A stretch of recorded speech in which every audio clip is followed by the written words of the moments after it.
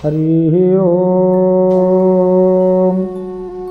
मन्नाथ श्रीजगन्नाथ मद्गुरु श्रीजगद्गुरु मदात्मा श्रीभूतात्मा तस्मै श्री गुरवे नमः ଜୟ ଗୁରୁ ଜୟ ଜଗନ୍ନାଥ ଆଜିର କଥାଳ୍ପ କାର୍ଯ୍ୟକ୍ରମକୁ ମୁଁ ସ୍ୱାଗତ କରୁଛୁ ଅମୀରଞ୍ଜନ ଶତପଥୀ ଆଜ୍ଞା ଅମୃତ କିଣିବା ପୂର୍ବରୁ ବି ଲୋକ ପଚାରନ୍ତି ଅମୃତ ମିଠା କି ଖଟା? ଏଇଟା ଆଜ୍ଞା ଗୋଟେ ଲୋକ କଥା। ତେଣୁ ମାଗିବା ପୂର୍ବରୁ ଥରେ ବୁଝିବା ଦରକାର ଆମେ କ'ଣ ମାଗୁଛୁ। ଏହି ବିଷୟ ପାଇଁ ଗୋଟେ ଛୋଟିଆ କାହାଣୀଟେ କହୁଛି ଆଜ୍ଞା।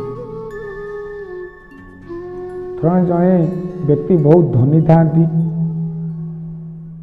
ବହୁତ ଅର୍ଥ ଥାଏ ସବୁକିଛି ଥାଏ କିନ୍ତୁ ତାଙ୍କ ପାଖରେ ଗୋଟିଏ ମାତ୍ର ଅଭାବ ଥାଏ ସିଏ ହେଉଛି ସନ୍ତାନ।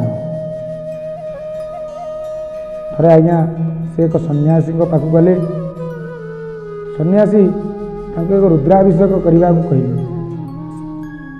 ଯେ ତୁମେ ଶଙ୍କର ଭଗବାନଙ୍କ ପାଖରେ ରୁଦ୍ରାଭିଷେକ କର ତୁମର ନିଶ୍ଚିତ ପୁତ୍ରଟିଏ ଲାଭ ହେବ।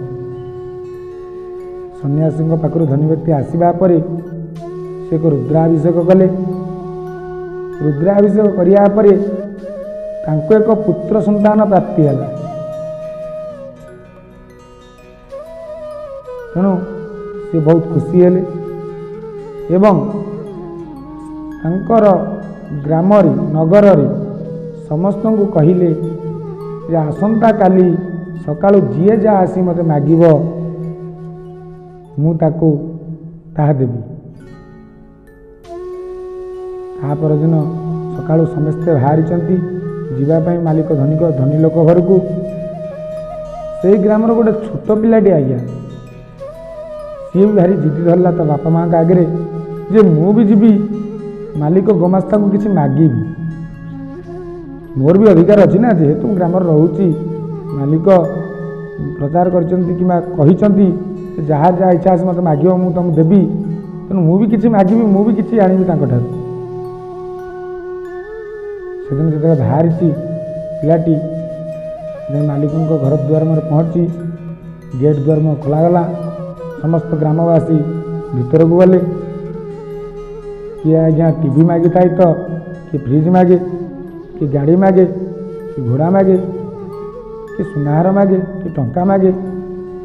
ଯାହାର ଯାହା ଦରକାର ସିଏ ଆଜ୍ଞା ସବୁ ମାଗିଲେ। ମାଲିକ ବି ଆଜ୍ଞା ତାଙ୍କୁ ସ୍ୱଚ୍ଛ ମନରେ ସବୁ ଦାନ କଲେ।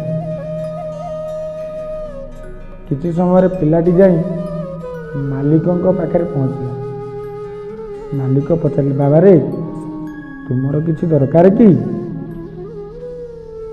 ଆଜ୍ଞା ପିଲାଟି ଯାଇ ମାଲିକଙ୍କ କାନ୍ଧ ଉପରେ ହାତ ରଖିଦେଲା। କହିଲେ ଆଜ୍ଞା ଆପଣ ମୋର ଦରକାର। ମୋର ଆପଣ ହିଁ ଦରକାର। ଯଦି ଆପଣ ମୋତେ ମିଳିଯିବେ ତାହେଲେ ଏ ସମ୍ପତ୍ତି ବାହାରି ସବୁ କିଛି ମୋତେ ମିଳିଯିବ। କହିବାର ଅର୍ଥ ଆମେ ଭଗବାନଙ୍କୁ ସଦାବେଳେ ପ୍ରାର୍ଥନା କରୁଛେ